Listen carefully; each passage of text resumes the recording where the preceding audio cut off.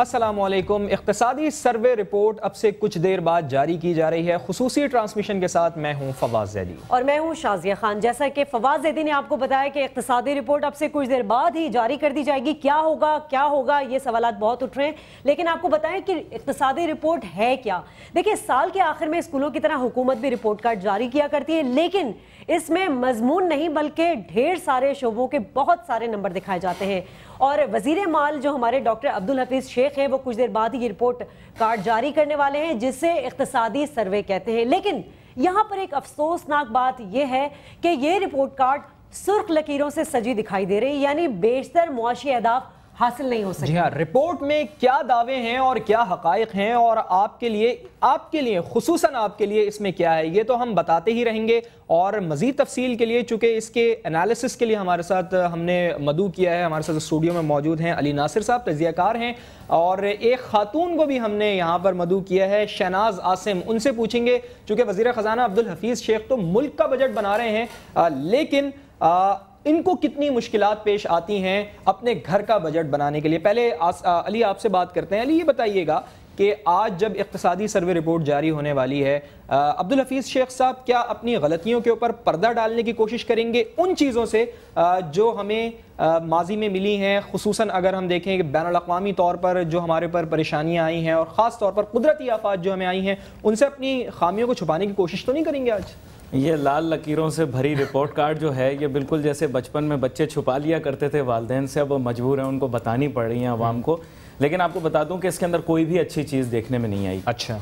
आ, सिर्फ़ एक चीज़ में इजाफा हमें देखने में आया है वो है महँगाई। हम्म। और वो आपने पूरा साल देखी है। हम्म। शुमारियात का झोलझाल है जिसमें आवाम को उलझा दिया जाता है और आवाम परेशान हो जाती है शायद ये शरह नमू क्या है? हम्म, और हमारा इकतसादी जो डेफिसिट है वो क्या है? हमारा ट्रेड डेफिसिट लेकिन आपको देखना है बुनियादी चीज़ें क्या हैं। और बैन अवी सतह पर भी अगर किसी मीशत का मुआजना किसी और मुल्क की मीशत से किया जाता है तो सबसे पहले ये देखते हैं भाई बेरोजगारी की सतह कहाँ खड़ी है? महँगाई की शरह क्या है? तो हमारे मुल्क के अंदर तो ये दोनों की इंडिकेटर्स इतनी बदतरीन आप पोजीशन के अंदर हैं और we are going into this अंधेरे में दिन ब दिन जलते जले जा रहे हैं।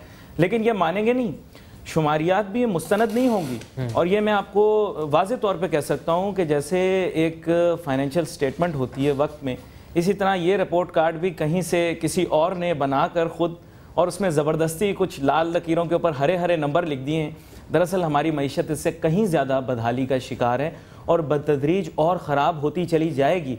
लेकिन हम आप तो आपकी बातों से तो ऐसा लग रहा है कि आप तो डरा रहे हैं। बजट अच्छा, तो कल आ रहे हैं लेकिन यही से कंटिन्यू करूँगी अली साहब कि हुकूमत तो दावे कर रही है जी आवाम दोस्त बजट और रिलीफ मिलेगा और ये और एक तरफ़ इकतसादी मायने ने कि वो खौफजदा कर रहे हैं आवाम को ये फ़र्क क्यों है? वो तो अफसानवी दुनिया में रहते हैं वो तो कहते हैं बीस फ़ीसद पाकिस्तानी छोड़ के भी चले जाए। पाकिस्तान को तो हम्म। हमें फ़र्क नहीं पड़ता।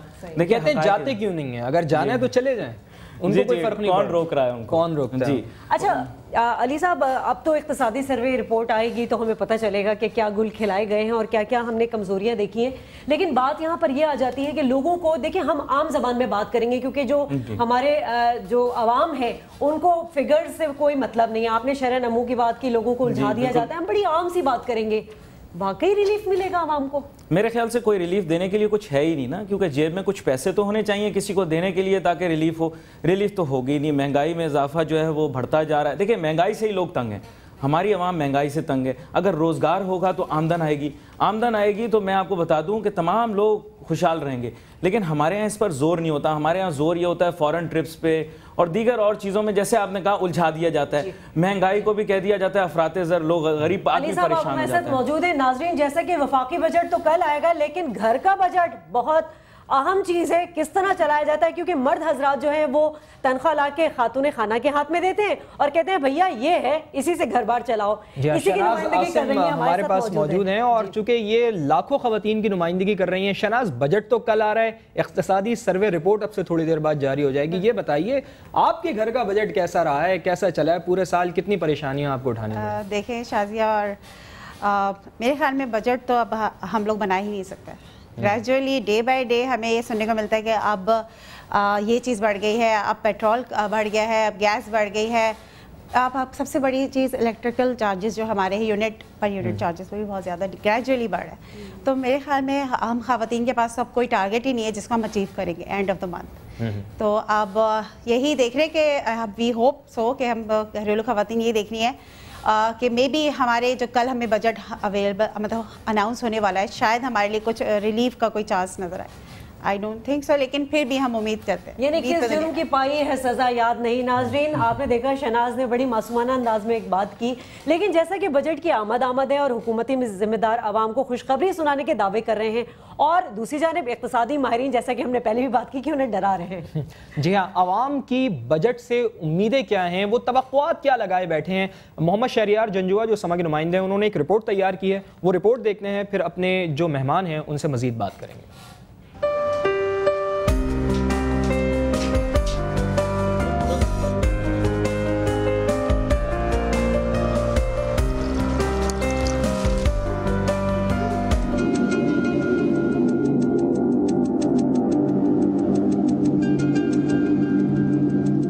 पहले सिर्फ़ गवाला ही दूध में पानी मिलाकर बेचा करता था, मगर बेपनाह महँगाई ने सफ़ेद पोष लोगों को भी ऐसा करने पर मजबूर कर दिया है।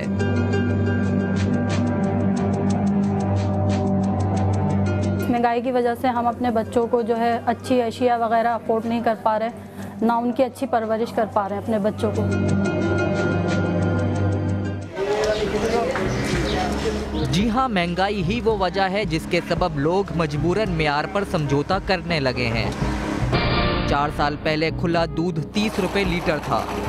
आज चौहत्तर रुपए लीटर है। आटा अट्ठारह रुपए से बढ़कर तैंतीस रुपए किलो। चीनी अट्ठाईस से बढ़कर चौवन रुपए किलो। मूंग की दाल तिरपन रुपए किलो से बढ़कर एक सौ तेईस रुपए। घी एक सौ आठ रुपए किलो से बढ़कर एक सौ तिहत्तर रुपए। पेट्रोल अट्ठावन रुपए फ़ी लीटर से 104 रुपए और एक अमरीकी डॉलर बासठ रुपए से बढ़कर तिरानवे रुपए पर आ पहुँचा है। महँगाई तो इस कदर बढ़ चुकी है कि पूछे मत कि हर एक इंसान इस दौर में परेशान है। बहुत मुश्किल हो गया है। दालें महँगी हो गई है गोश्त की जगह पे दालें हो गई है। कुछ नहीं कर सकते। अल्लाह ही अच्छा करे। फिर बजट आ रहा है फिर हुकूमत आवाम को अदाद शुमार में उलझाएगी। आवाम को रिलीफ देने के हुकूमती दावे भी होंगे। लेकिन क्या वाकई मौजूदा हुकूमत का ये आखिरी बजट आवाम को कुछ दे पाएगा? गुज्त पाँच सालों में तो आवाम महँगाई के हाथों पिस गए। हुकूमत कुछ भी कहे, आवाम आने वाले बजट से किसी खास बेहतरी की उम्मीद नहीं रख रहे। जब तक हुकूमत अमली तौर पर कुछ करके नहीं दिखाती, आवाम को यकीन दिलाना मुश्किल है। कैमरामैन फैसल आगाही के साथ मोहम्मद शहरियार, समा कराची। रिपोर्ट आपने देखी और यकीनन जो कंक्लूजन निकला वो ये निकला कि आवाम को कोई उम्मीद नहीं है लेकिन बहरहाल नाउमीदी कुफ्र है। अच्छा यहाँ पर हम एक बात कर लेते हैं कि आजकल जो क्राइसिस बहुत ज़्यादा देखने में आ रहा है वो है तवानाई का खास तौर पे। अली साहब हमारे साथ मौजूद हैं। अली साहब तवानाई का बहुत ज़्यादा बहरान हो गया है और हमारे जो अगर हम कहें सनती जो हमारा शुबा है मतलब समझे कि ख़त्म होने के बराबर है। जी इस साल लोड शेडिंग की वजह से सनती पैदावार में जो इजाफा होना था वो आधा हो गया। हम्म। क्योंकि आपको खुद ही पता है सनतों की जानब जाए तो सनतें अलहदा घरों का क्या हाल है वो आपको खुद पता है। अच्छा यानी हमारी जो बरामदात हैं उसके ऊपर भी फ़र्क पड़ता है इससे? बहुत ज़्यादा पड़ता है क्योंकि जहरी बात है आपको इम्पोर्ट ऑर्डर्स मिले हुए होते हैं आप सॉरी एक्सपोर्ट ऑर्डर्स मिले हुए होते हैं आपने अपने मुल्क से एक्सपोर्ट करनी होती है वो आप मुकम्मल नहीं कर पाते हम्म। आपका बायर जो है यानी खरीदार जो दीगर मालिक के अंदर बैठा है उसको तो लोड शेडिंग के माने भी नहीं पता होंगे Absolutely. अगर किसी तरक्की याफ्ता मुल्क के अंदर आप लफ्ज़ लोड शेडिंग इस्तेमाल कर लें अब लंदन का मौसम इतना बेहतरीन है वहाँ पर अगर हम्म। आप किसी ताजर को ये समझाने की कोशिश करें तो वो कहेगा कि हमारा तो मौसम इतना अच्छा होने के बावजूद कभी एक घंटे भी लोड शेडिंग नहीं हुई हम्म। और अगर वहाँ लोड शेडिंग हो जाए तो कोहराम मच जाएगा हमारे तो बड़े बासबर कहता हूँ लोग हैं जी जी। जो बिल्कुल भी यानी यही छोटी मोटी फ्रस्ट्रेशन वेंट करके निकल जाते हैं इसीलिए सर्वाइव भी कर जाते हैं हम्म। शनाज हमारे साथ मौजूद है शनाज जब लाइट चली जाती है बच्चों की नींदें पूरी नहीं होती हैं सुबह नाश्ता नहीं मिलता क्या कैसे फेस करते हैं इन सब चीज़ों को? बहुत मुश्किल जाता है। शाजिया बच्चे सोते नहीं हैं। ज़ाहिर सी बात है इतनी गर्मी है और जब जब लाइट नहीं होगी तो हम लोग को बच्चों को जल्दी सुलाना भी हमारे लिए एक मुश्किल टारगेट है कि हम उसको बच्चों को जल्दी कह दें कि सो जाए।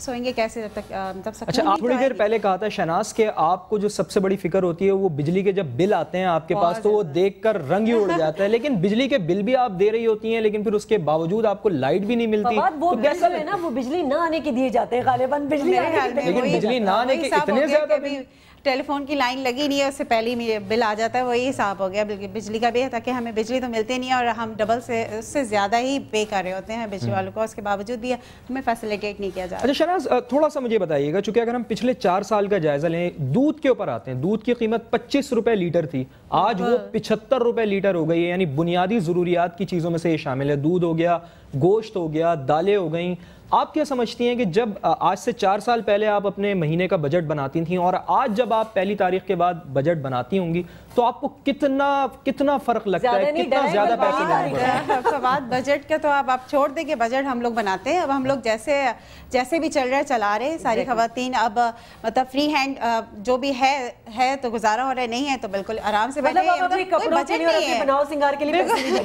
बिल्कुल। यही आप कह सकते हैं कि अब खातन मेरे ख्याल में पॉलर की तरफ़ कम जाएँगी और सोचेंगी कि जो हम पॉलर से जो हम खर्च करते थे एक्सपेंसेस हमारे होते थे वो सेव करके तो फिर बचत कैसे होगी? मुझे ये बताएँ ना तो बचत कैसे होगी? बच्चों के तो लिए बचत क्या? बचत का कोई कॉन्सेप्ट रह गया अब या नहीं नहीं रह गया? रहा चाहे जितनी भी आपके पास इनकम आ रही हो क्योंकि जितनी तेज़ी से हमारा जो महँगाई का जो सिनेरियो एकदम से चेंज हो रहा है अराउंड हमारे हम लोग जो फेसेस इस वक्त जो हम लोग खातन और मेल हजरात जो फेस कर रहे हैं इस महँगाई को वो बहुत मुश्किल हो गया है। और अब हम, अब यही देख रहे हैं कि कल शायद हमें शायद कुछ गुड न्यूज़ शायद ही मिले। लेकिन इस होप सो अच्छा इन्हीं की बात इन्हीं की बात को आगे लेके चलते हैं। अली ये बताएँ मुझे कि पहले एक कॉन्सेप्ट हुआ करता था जी एक सैलरीड क्लास जो तबका होता था उसमें ये होता था जी छः हज़ार रुपये अगर किसी की आमदनी है तो उसमें से वो दो हज़ार रुपये बचा लिया करता था और फिर वो बतदरीज करते करते करते करते फिर एक वक्त ऐसा आता था कि वो अपने लिए कोई ज़मीन खरीद लिया करता था या घर खरीद लिया करता करता था। अब लाखों में सैलरी हो गई है लेकिन बजट जो बचत है वो नहीं हो पाती है। इसकी क्या वजह है? खर्चे क्या? हमारे खर्चे बढ़ गए हैं या फिर महँगाई वाकई बहुत ज़्यादा हो गई है? महँगाई भी बढ़ गई है। हमारे अखराज में भी इजाफा हो गया हमारी तनख्वाहों में उस तनासब से इजाफा हुआ नहीं है। और पिछले पाँच साल से अगर आप ओवरऑल हमारी मीशत को देखें तो तनख्वाहों में इजाफा उस रफ्तार से नहीं हुआ जिस रफ्तार से महँगाई में इजाफा हुआ है। तो अब वो चीज़ें जो पहले इंसान आसानी से खरीद सकता था मार्केट से अब वो आम चीज़ें भी महँगी लगती हैं।